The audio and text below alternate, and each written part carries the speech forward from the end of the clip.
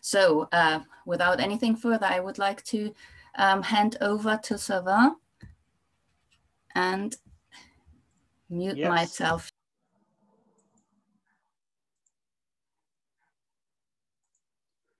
Here we are.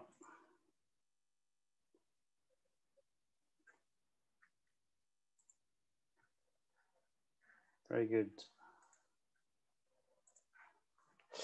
Okay, so thank you very much, uh, Marion, for the uh, introduction and for the invitation. And um, so basically what's going to happen is uh, I will try to make my uh, slides uh, last uh, 20, 25 minutes.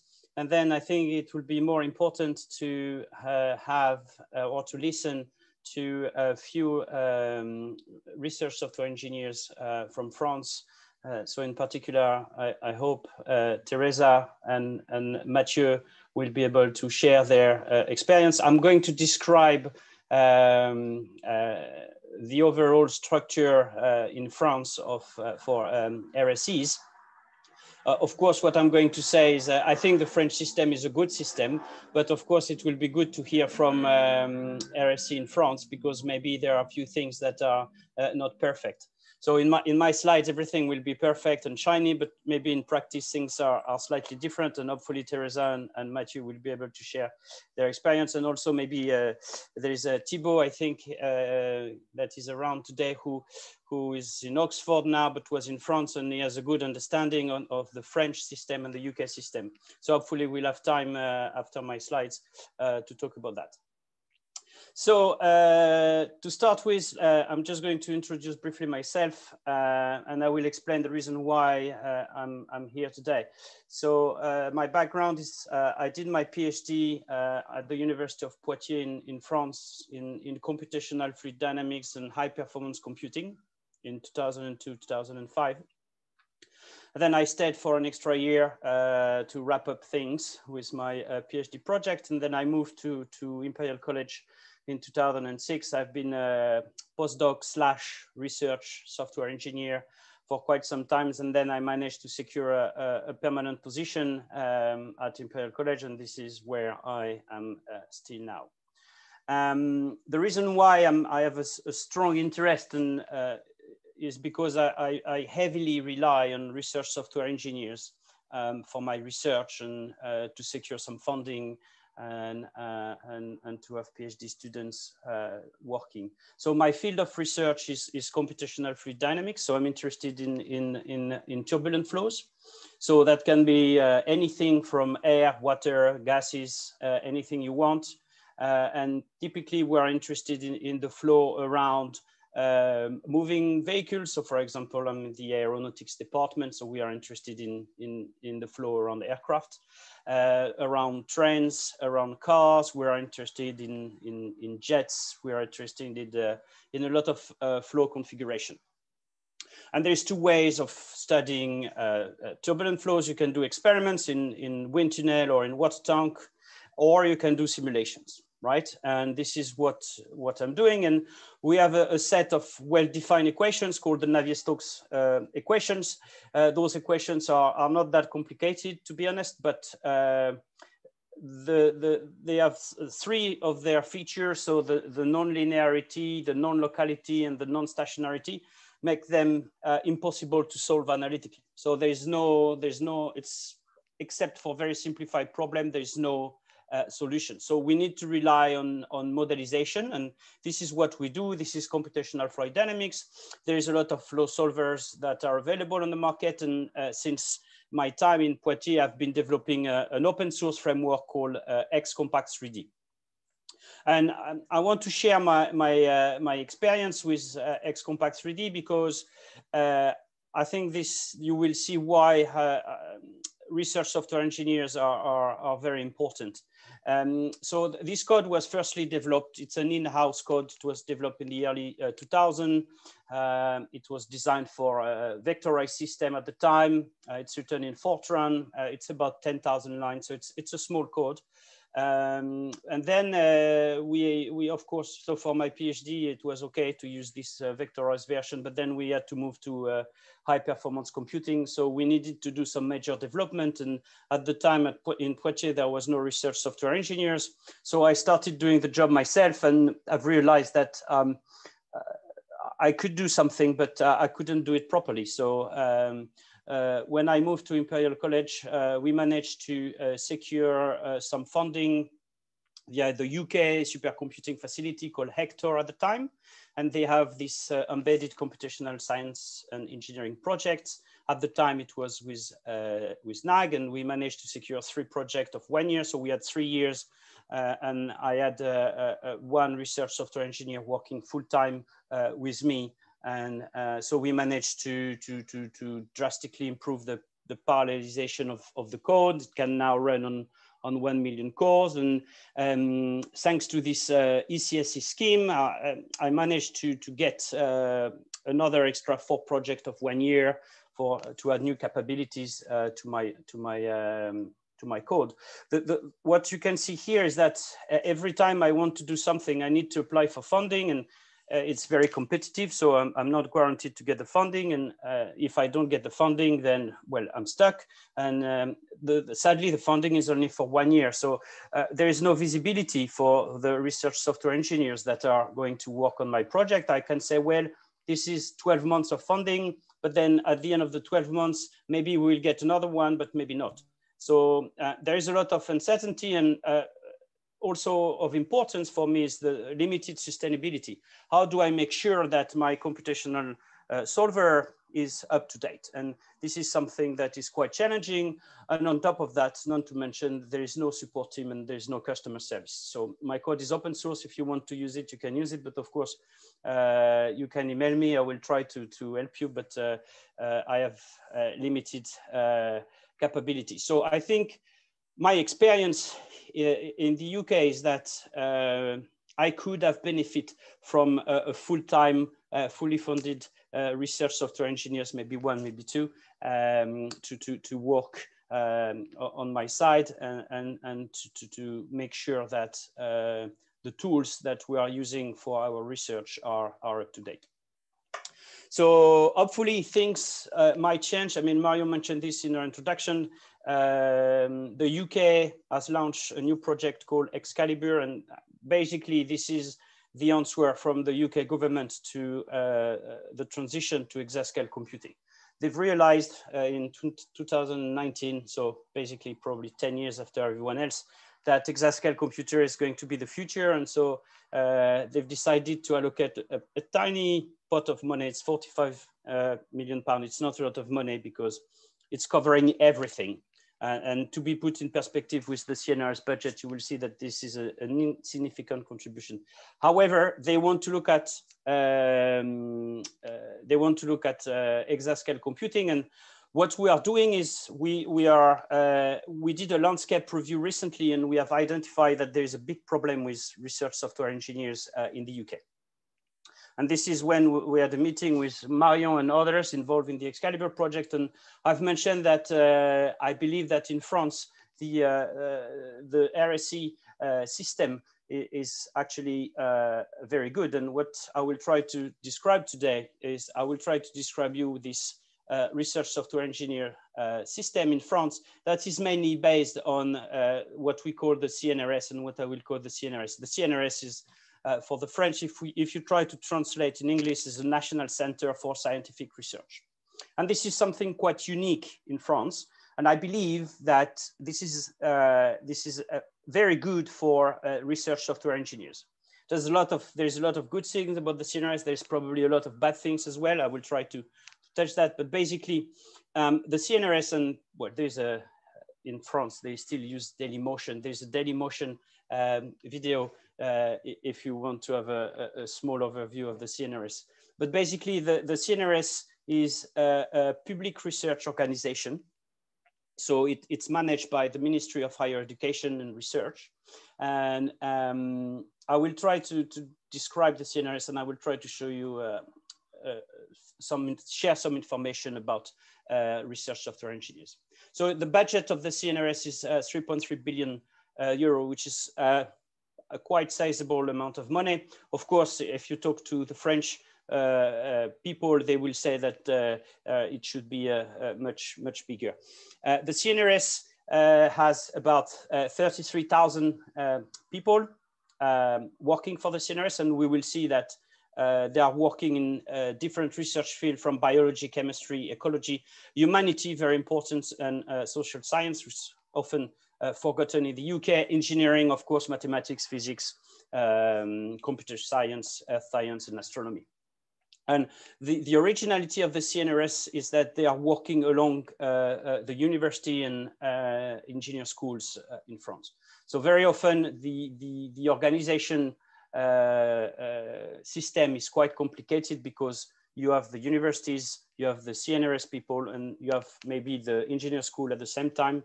So they are all working together. They all have their uh, own rules, and uh, sometimes it quite be quite challenging to navigate uh, if you want to do something or if you want to do some research. So the CNRS was created in 1939 uh, between the two world war. Um, the main feature, as I said, uh, it's a fairly sizable budget. I mean, 3.3 million is quite a lot to compare with the UK. The, um, we have the Research Council in the UK and the, the budget for the uh, engineer uh, research council is, is much, much smaller than, um, than 3 billion. So most of the funding is coming from uh, public service subsidies. And you also have the possibility, if you are working for the CNRS, to get your own uh, research contract. You can apply for uh, EU project Horizon 2020. Uh, CNRS researchers are very successful in, in getting funding via the uh, ERC uh, uh, scheme. So that's that's something that is quite quite important. There's a lot of flexibility, and more importantly, there's a lot of support when when you are trying to to write some some proposal. There's a there's some some some nice support, and you're more likely to be successful. So the the the, the research in France is based on about one 1,100 laboratories. So within each universities, you have uh, different lab laboratories and they are working alongside uh, the CNRS people. So this is what we call a joint research unit. So in every university, in every lab, you will have uh, people paid by the university and people paid by the CNRS uh, working, uh, working together, okay? There is also now, it's very important, uh, some uh, collaboration uh, with uh, international uh, universities. So it's called International Joint Units.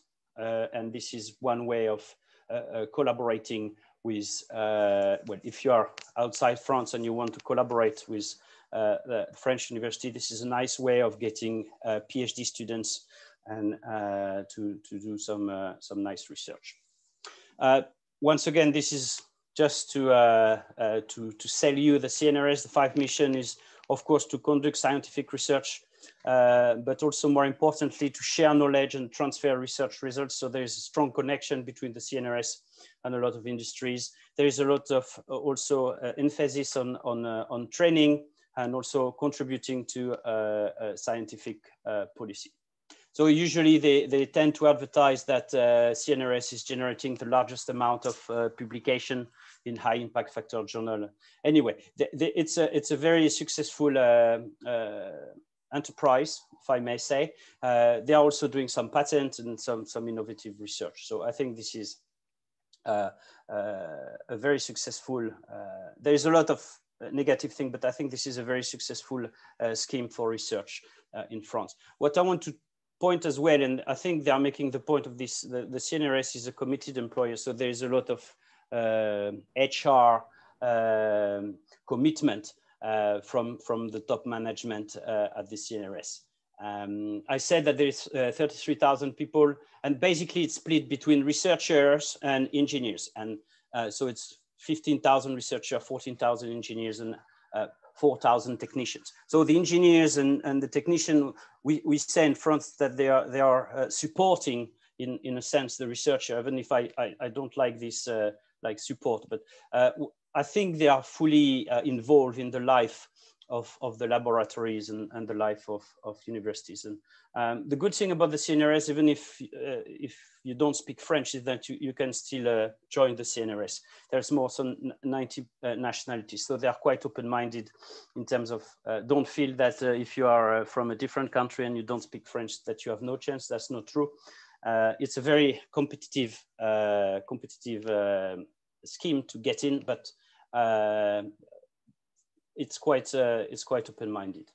Um, so ah, I forgot to say this is one key thing that is maybe it's obvious for the French, but um, when you are not in France, is that uh, once you join the CNRS, you you join the CNRS um, um, for life, and I think this is something uh, uh, this is something quite uh, quite important to mention.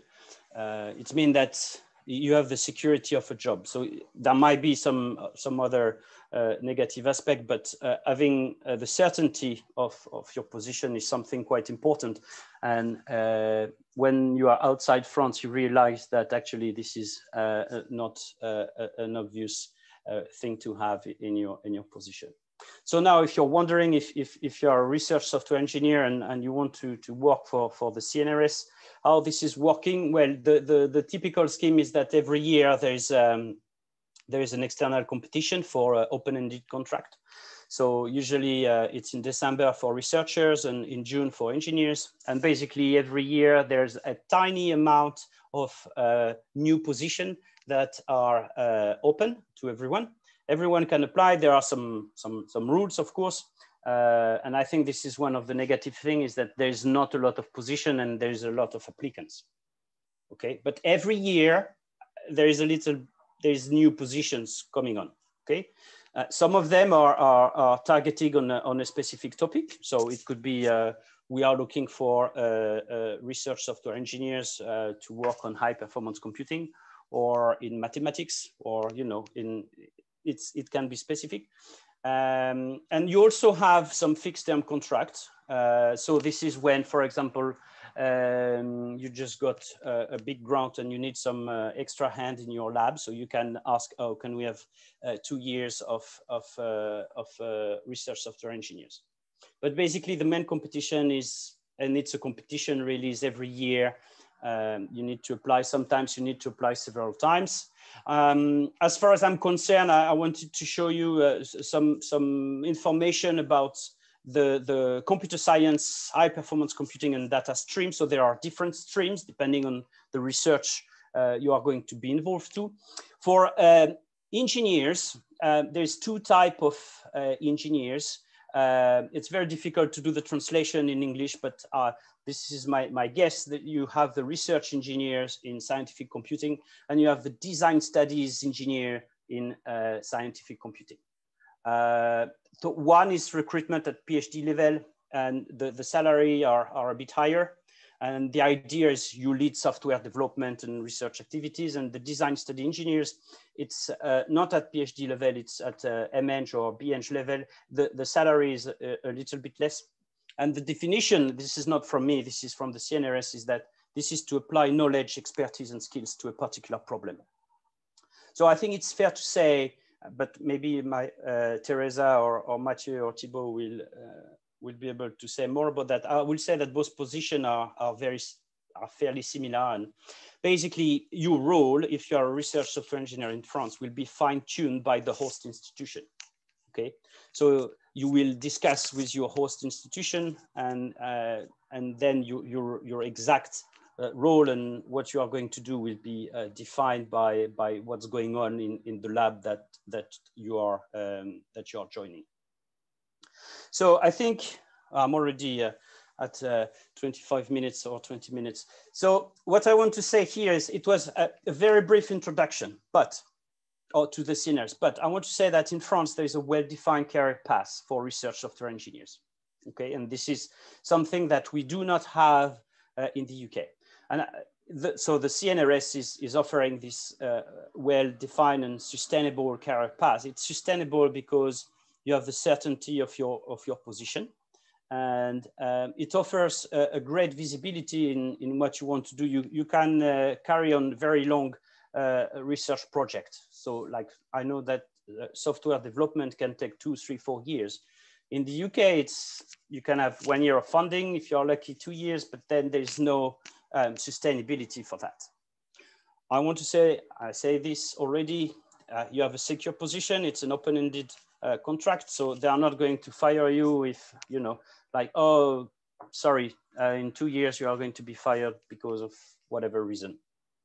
And my, my feeling and my experience with research software engineers in France is that they are fully contributing to the research activities in their host institution. I think so their names will be on papers. They are uh, contributing to, to grants. Uh, they are fully involved in the life. And I think this is something that we do not necessarily have here uh, in the UK.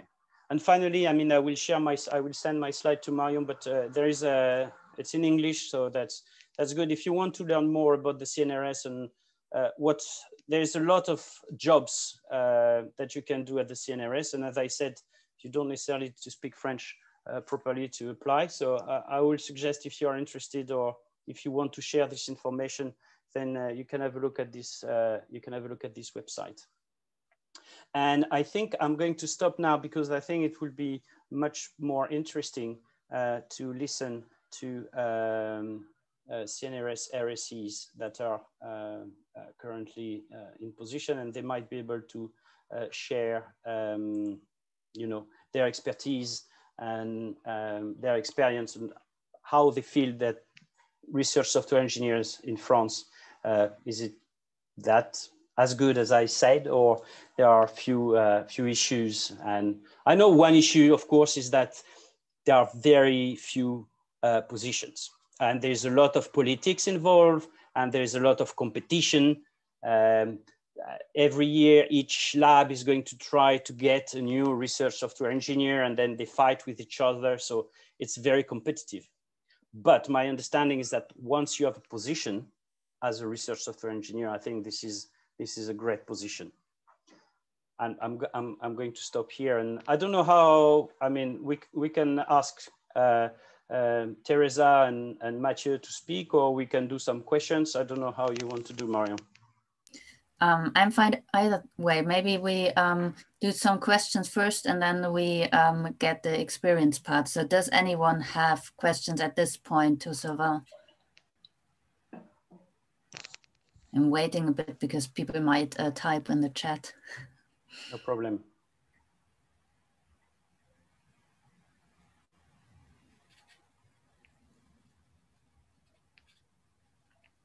There's nothing coming up in the chat at the moment, but um, we can do another round of questions otherwise um, afterwards. So um, yeah, if nobody has questions at this point, um, who wants to give their experience first?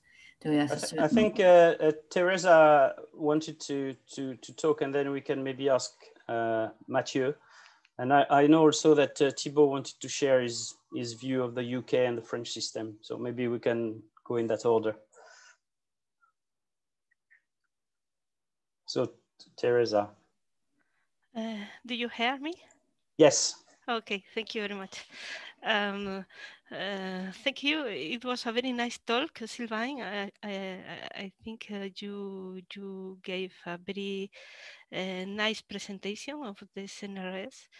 Um, I I came here to work for the CNRS because I really admire the institution and I still admire the institution. I'm very happy to work here. Uh, um, I would like to just uh, correct maybe a bit. Uh, uh you said very well that the CNRS represents the world research activities. Uh, it can be mathematics or humanities or many other research uh, um, sections. And in fact, we don't speak about research software engineers. What uh, we speak, and you presented it very well, was about research engineers or uh, engineer d'études, student uh, of uh, studies engineers. Very well. Yes. Uh, the, um, and, and so uh, in fact, there is a big difference between both positions. uh, research engineers really needs uh, an, an, important level of uh, research knowledge and, and you can manage teams. Um, the student student position is not for management. Um, this is the big difference and usually, uh, as you say as, as, well, the laboratories, when they ask the positions, obviously they like a research engineer, uh, and they usually got the student engineer uh, level. Um, but um, uh, one thing that is very good is that there is always, every year, there are positions. Um, not many, but if, for example, in Spain, uh, this is not possible. There are no positions. at all. so, so I think that is very good here. another thing that I put in the chat is a link uh, in um, there is uh, the engineer positions um, are described in BAP, branche d'activité professionnelle, and the BAP E is for the computer science. And there you can see the different levels and the different descriptions of the positions that exist. So when a laboratory asks for a positions, they go there, they choose one profile, and maybe with a, they can adapt uh, to say I like uh, this or this, uh, but usually uh, they they use this this uh, general um, description of a position and then it's published by the CNRS. Uh, and so when you uh, got this position, you got the position to go to a laboratory in, in Paris or in Lyon or, or, or other places.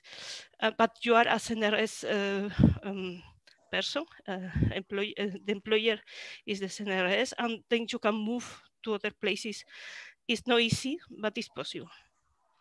Uh, I don't know if uh, uh, I think it's more or less what I like to, to say. Yes, uh, yes, I think it, it's important. As I said, I mean, the, the CNRS people and they're working in with the university. So when when you get a position, you're assigned to to a to a specific lab. And um, as Teresa said, after a few years, if for some reason you want to move, you have the, the flexibility to, to move to, a, once again, there's a lot of politics involved, but you have the flexibility to move to, a, to another lab or if you want to join a specific team. It's, it's politics, politics, but it's possible. You are not assigned to a lab for life. You are assigned to the CNRS for, li for life. And then you can also um, have a few examples of people who decided to uh, join industry for, for three years and then come back to the CNRS. So you can suspend your contract with the CNRS to do something else and then join, uh, join, join again. I think there's this, there's a lot of uh, administrative hassles, but th that's a possibility and this is happening in, in practice. Mm -hmm. And if I, if I may, the, there was a question uh, in the chat from, um, from Matthew. Um, I, as I, I, as I say, the chat, I think the, the, the system itself is, is good because you have a well-defined career path. The problem is, of course, the, the funding. And um, I know for a fact that there's some, in, in engineers, um, there's uh, more position than in uh, pure mathematics, for example. So if you are trying to, if you are a lab and you are trying to get a, a CNRS uh, person, uh, in pure mathematics or in uh, history of art or things like this. It's extremely, extremely challenging, if not impossible. But as Teresa said, if you look in Spain, for example, there's nothing. so it's, it's, it's better than nothing with that respect. But I believe that the system will work very nicely if there was more, more funding and more positions uh, available. I think the system itself is, is quite good. Thank you. Um, so who wanted to speak I think, next? Was it? Uh, uh, Mathieu uh, from uh, the University of Pau, maybe? Yes, can you hear me? Yes. Hello. So nice to meet you. Thanks for thanks for the invitation. Um, yeah, so maybe I can I can start with just presenting myself and, and my my path. So I made a so-called engineering school uh, first, so in microelectronics and uh, uh, automatic. Uh, then I was not that happy with what I learned, and so I went back at the university, made a master, and then a PhD in computer science. And then I got a engineer position with a contract, so in France, for a couple of years. Then I went to uh, to Munich, so in in Germany, where I got a postdoc, which was also an engineering position. And then I got this CNRS position, so then permanent position uh, in Paris when I was back. So it was in 2009, if I, no 2014, if I remember correctly. So now it's five years that I'm five six years that I'm in in, in my position. And then in Paris, so I was really so supporting. So I don't have any problem to say supporting uh, a researcher in material science. So he had a molecular dynamics code, and it was about really optimizing it, uh, make it making it faster, and porting it to GPU, for example. So it was pretty technical, and then I was doing it myself uh, at the first place. But as you mentioned, uh, I it's also possible to to go to to to to move to to some other activities, more management and trying to get grants and this kind of thing. And uh, so I was involved in a, a European project uh, called uh, so ECHO, that was a so Euro, um, energy oriented center of excellence. So that's a, a European uh, project. So I participated to to to write it, and then it has been accepted. And so I I was work package leader so I really managed, uh, I could manage uh, really people uh, all around Europe. So in my position, and then I stepped uh, back, uh, and then so and then I decided to move in in Pau uh, last year, and here I am again back into some more technical work. right. So that's so that's the kind of, of job you you you can have. about CNRS, so you have a it's a very nice presentation, good looking. So it's a very nice advertisement for CNRS. So thanks a lot, Sylvain. um, yes, so so something that you have to understand also that CNRS is very large, but it has very few um, um, units, so pure units with CNRS people. Most CNRS people are disseminated inside universities. They are working really in laboratories that are in universities. So in the numbers, you can think that each researcher has one engineer. It's not true. it's not true at all. Uh, you have uh, you have also uh, professors, assistant professors in the in the labs uh, that are at universities, and then you have one engineer, and then you have also one researcher. But definitely, when I had finished my PhD, I had really two paths. So either I go the research way, but it was not possible for me because so I, I had a PhD with doing so in the mix with physics, applied mathematics, and computer science. So I went to the mathematicians that were saying, okay, you didn't do the math, so you were doing computer science. And then I went to the the, the computer science. The, yeah, but all your publications are in mathematics. So you, you are not a researcher in computer science. So I couldn't be become a, a, a researcher. And so I went that way of of being a, so now I'm research engineer and, uh, and what to say. And so, so there is a clear difference between the two. Researcher, basically, they have their position, so for life, basically, and they can do almost what they want with their position. If they decide, uh, okay, I want to change. So I, this this new topic is very interesting. I want I need to go to this city in this lab to work with that guy if they can justify, they can just move. Uh, research engineer, as Sylvain said, it's also uh, about politics, about so research policy. Okay, which activity do the CNRS does the CNRS want to support, and so where they want to make to put an engineer, for example. And so you are attached to a lab and to a uh, to a profile and to to some things to do. Uh, so that's more uh, strict but it's also as as uh, Teresa mentioned, it's possible to to move. So that's exactly what I did. So to go from Paris to Pau, uh, there is a uh, yeah procedure. So where each year you have a movement. So you have jobs that are posted, and then you can read the, the, the one that you're interested in and then uh, candidate. Uh, you can uh, apply for, for that kind of position and then there is a, some board and then yes, of course there are a lot of politics that are involved, but in general it works quite well. And so the last thing is that so far from a, a hierarchical point of view, so my boss is the head of the lab. Uh, I I'm not evaluated on the publication I'm doing. I'm engineer, so I'm not counted like that.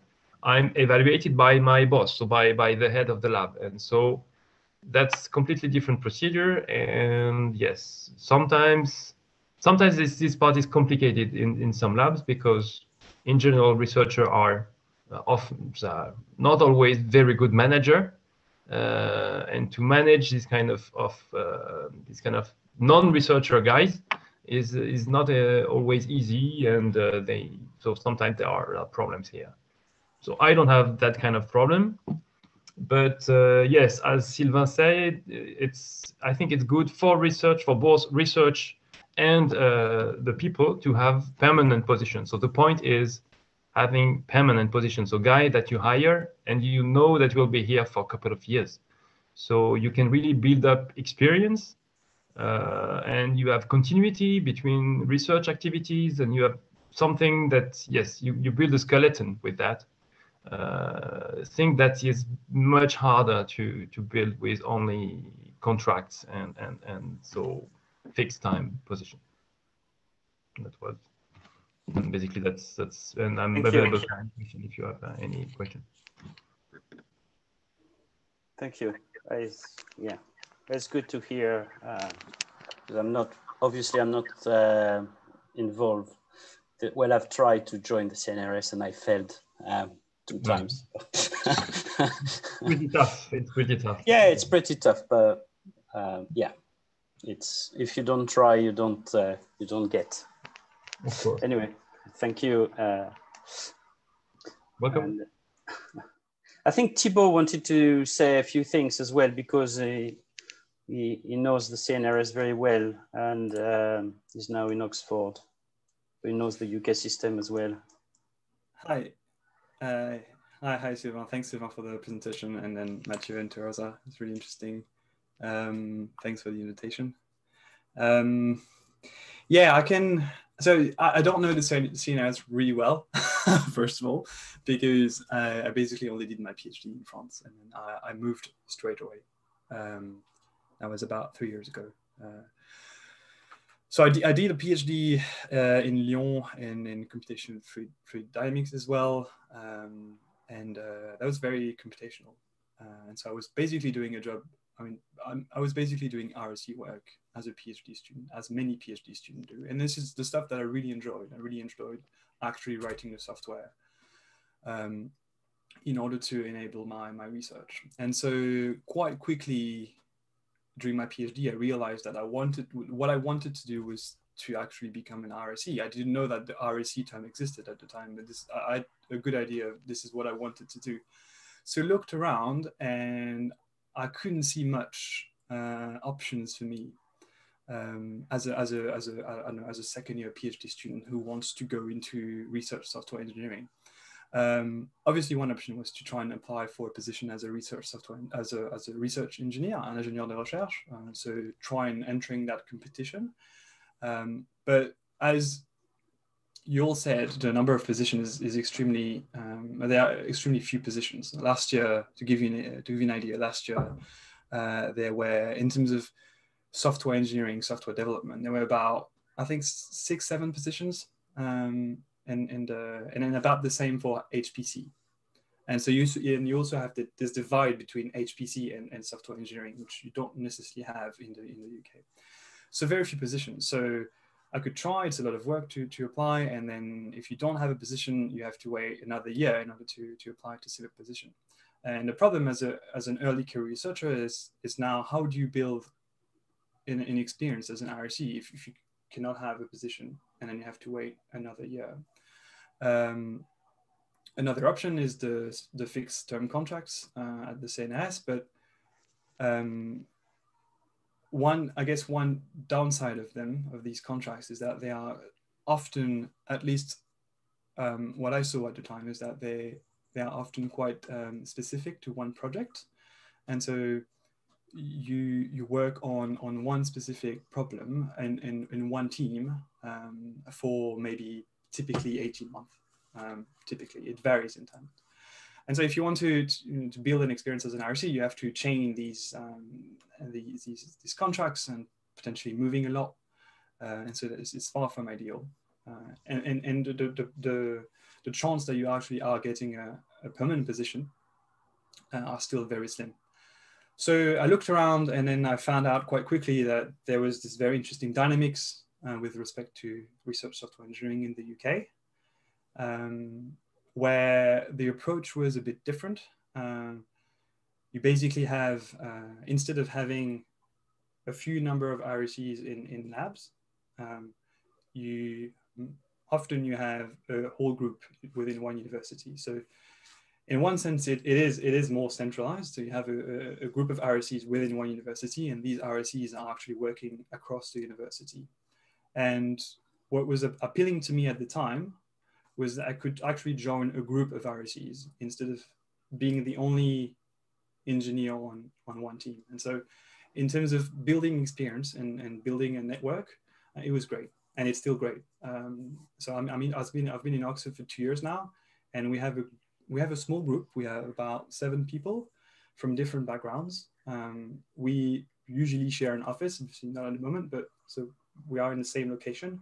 Uh, and so we can share a lot of knowledge um, between each other. A colleague of mine from biology, I'm from physics, some people from industry, and we're all working on different projects across the university. Some do apps for psychology, I do more scientific computing, um, some do simulation, some do data science. And so I never found a similar like dynamics in, in France. Um, and so now obviously the downside of that is that my contract is is one year. So it's been renewed every year, but I'm stuck on that one year contract. And so in terms of visibility, it's not great. But there's a lot of interest. And so for instance, now we have enough work to do to sustain about two years of our group. So we know that unless you know, unless something really bad happens, we have our our funding um, guaranteed for two years. So it's not that bad obviously could be much better.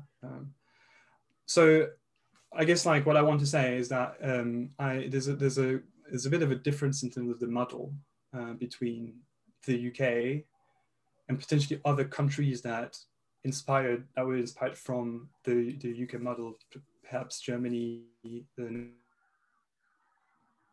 Netherlands, the US, who took that RSE movement and that, that model from, from them. Um, so you have more of a central RSE group. Um, well, in, in, in, France, I think, um, again, my experience is quite limited, but I think that RSEs are more maybe siloed into into one team uh, and it tends to to work for that team maybe do a little bit of training for other researchers but not that much i think it's it's exactly to the point that on on one side, as uh, Teresa said, she's the only RSE for a 80 staff member in France. Right. So, but you, okay, you have the security of the of the job, but, and on the other side, maybe you're you're you can feel you're on your own. Well, it depends, of course, on on your experience, and it's on the UK. There's a there's a, a better sense of uh, networking and and community, I believe. Yeah in terms of community it's it's it was it was just very different. Um, I, I, could feel the difference from going from france where I, I, guess if you are an established research engineer you have your community you have your network. Um, but as an early career rse um, it was I, I, arrived in, in the UK and I you know there was the RSE conference and then uh, yeah, yeah, yeah. and then the SORSE and then I was part of a group that was connected to other groups. And so it was quite quickly in terms of meeting new people and then exchanging knowledge. And so in terms of to, to grow as a as a as an as an early career RSE it was it was really important for me. Very good. Thank you very much. Yeah, thank you all, and thank you very much, Sylvain, for your um, talk. That was really, really interesting to see um, how it's working in France, actually. And thank you to um, everyone who gave their, their experience here. Um, I've seen that there was also a lot of discussion going on in the chat simultaneously, and um, thank you for all of you who answered those questions. Um, does anyone have any more questions they want to ask here to any of the speakers or generally or their own experiences so they want to um, add to what has already been said here?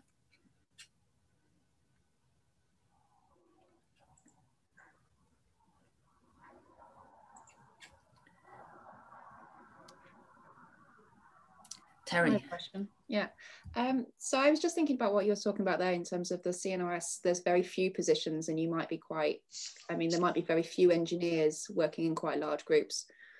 I was just wondering if there's the sort of capacity, space, or even interest in having a sort of, in having more RSE type roles which are run by universities and might be, there might be more, almost similar to the UK system in terms of having short term contracts um, is there even the, space and capacity and interest within universities having their own RSEs and, and not coming from the CNRS sort of employer? I think you, you, you if you get a big uh, European grant or even uh, the French equivalent is called the ANR, um, you, you might be able to fund a few RSE positions, but for a fixed term, and this will be to work on a very specific project. Um, but they will probably not call it uh, RSEs. It will more likely be like a, some sort of a postdoc position type to work on a specific project. Yeah. But be, be, because I mean, the argument I guess of the university is that the, there's this uh, stream of RSEs uh, via the CNRS. So why would they, you know, um, and also there will be the there will be some some discussion around the teaching. If you're working for universities you are expecting to do uh, some teachings teaching. Whereas if you're working for the cnrs you are not expecting to do some teaching. You can of course do some teaching and be involved in, in teaching activities. But um, uh, yeah there will the university will expect you to do some teaching and then you will have less time to do your research. I mean it's uh, it's it's it's quite uh, uh, complicating. But I mean, there is possibilities, and there are, there are a few RSEs that are funded by uh, by university via research contract. And I, there, there's also something that uh, I, I, just saw on on the on the chat that there is also in France there are some research institutions that are um, uh, well half public, half private, I will say, like uh, INRIA or uh, Coria and stuff. And uh, also having a, having a job there is almost impossible but when you get one uh, it's an absolute amazing uh, opportunity because uh, of course uh, so you work on very specific topic but uh, you you have great resources and there's a sense of community as well um, but yeah it's I think once again, I think my my feeling is that it's just a matter of uh, of uh, funding. If there was more position, more funding, then I think the, the French system will be good and uh, RSEs will not be on their own in a, in a, in a big lab. And so there will be a small uh, community feeling. Thank you. Um, are there any more questions?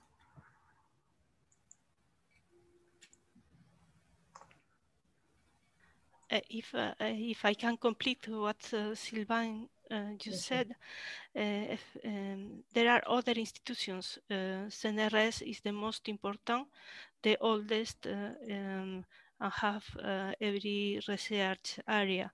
Uh, but INRIA, for example, is dedicated to computer science. Uh, CEA was for atomic uh, studies. Yeah. INSERM is for medical studies. Uh, INRAE for agronomics. Uh, there are other kind of national institutions that also publish um, engineer uh, positions and the universities as well do publish every year one call of uh, with engineers and administrative uh, personnel for, for universities. Thank you. Um, just looking through the chat whether there was anything else. ask that, but I think you were very good in answering everything straight away. um, does anybody have any more questions? If not, I'll just. Um, I have one more question if that's if we have yes, time. sure, sure. Sorry. Um, so we talked. Are You talking about the career progression, and you, you, there was sort of like that. It's possible to move almost sideways. I was thinking in terms of different projects and different different institutes and, and things to do. But what if you just wanted to sort of move up essentially? Um, so if you are uh, a research software engineer in a particular project, and you, I'm just thinking of sort of annual. Would you even get pay rise? And like, how does that kind of system work? Yes, you, you, there's a well-defined, uh, in terms of salary, there's a well-defined uh, career path with uh, milestone. And, and, so you, you get, I think in one of my slides, you, I put the lowest salary and the highest salary. Um, but the, um, as I said, the, it, it will depend on your uh, local host institution. If they want to put you in charge of a project, for example, or, you know, there are ways, I think, uh,